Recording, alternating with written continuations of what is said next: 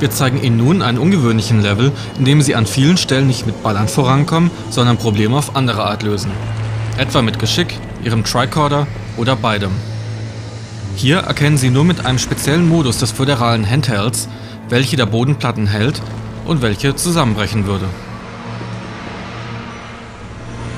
Der alte Ruinenplanet steckt voller ungewöhnlicher Hindernisse. Diesen Leuchtsteg etwa müssen Sie mit genau abgestimmtem Timing passieren. Später gibt's noch einen, bei dem das nochmal weitaus schwieriger ist. An einigen Stellen waren in Zwischensequenzen verfallen.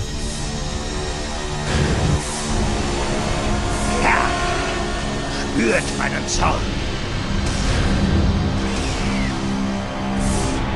Er hat gespürt, dass Sie ihn um einen Kilometer verfehlt haben. Stellen Sie meine Geduld nicht auf die Probe, Boliara. Das war seltsam. Es ist einfach explodiert. Eine Falle. Monroe, benutzen Sie den Bioscanner-Modus Ihres Tricorders. Wenn Sie auf den Rat des Kollegen hören, ist das Hindernis allerdings keine besonders große Herausforderung mehr. Wieder mal hilft Ihnen der Tricorder.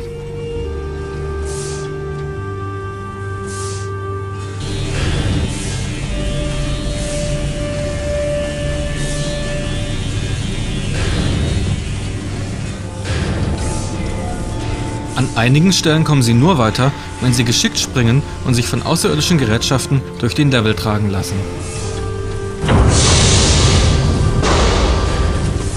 So, jetzt schalten wir noch schnell die Selbstschussanlage aus.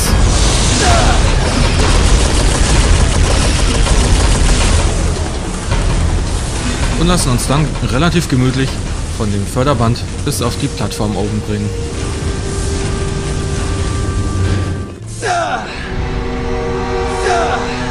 Bei einigen Stellen ist zunächst unklar, was passiert. Hier merken wir nur, dass irgendetwas unsere Gesundheit angreift. Per Trackcorder lösen wir erst den Schalter aus, was ein paar Sekunden dauert. Dann wählen wir den Gas-Sichtbar-Modus aus.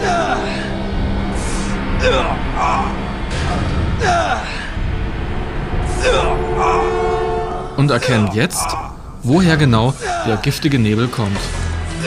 Anschließend müssen wir nur noch per Phaser die Öffnungen zuschweißen.